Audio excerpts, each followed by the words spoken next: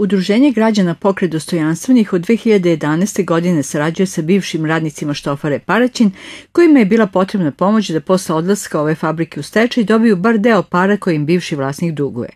Fabrika je nedavno prodata i prva informacija je bila da će radnici dobiti 12 minimalaca i dve godine radnog staža, međutim to je pod znakom pitanja od trenutka kada je Universal banka zatražila kamatu.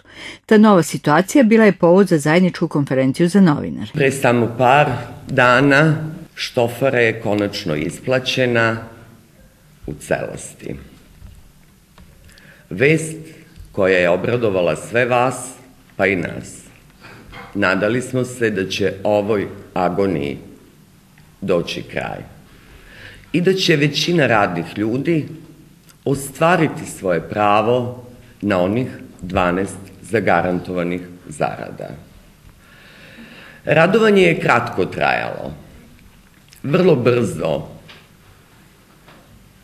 je usledila vest da postoji problem u namirenju prvog isplatnog reda iz razloga što je jedan od poverioca Universal banka stavila prigovor Privrednom sudu na tok i način isplate, tačnije, oni su zahtevali isplatu kamate Bivši radnici Štofare uz izražavanje ogorčenja što stečajni upravnik nije prisutan javno su postavili nekoliko pitanja. S obzirom da je došlo do konačne prodaje, da smo svi zatečeni tim, sa tim trenutnim stanjem, znači kako jeste. Mi u ovom trenutku i ne znamo zapravo kakva je odluka tog stečajnog suda.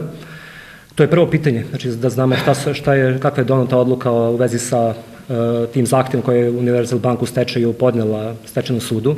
Ja bih postavio stečajnom upravniku pitanje jer on je nama obećao od carinjene mašine koje nisu bile ocarinjene, da će kad ih bude ocarinio i kad ih bude prodao, da će nama isplatiti ukupno, jer one nisu ušle, bile u masu ovu koju e, pod hipotekom što je bilo.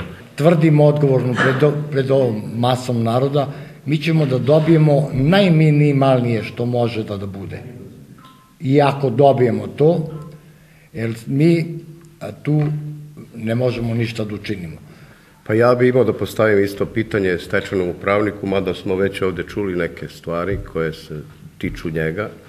Ako je e, čitao ugovore kakvi su vezani sa Univerzal bankom, da li je to dobro pročitao, ako je znao da, da će da bude zatezna kamata, onda zna se šta sledi, ako nije znao, onda šta traži, da, šta traži u toj u tom poslu tu.